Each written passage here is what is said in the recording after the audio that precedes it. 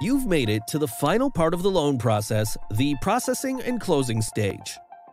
After your signed commitment letter and the expense deferment deposit is received, a processor will be assigned to your loan. The processor will be your main point of contact during this stage.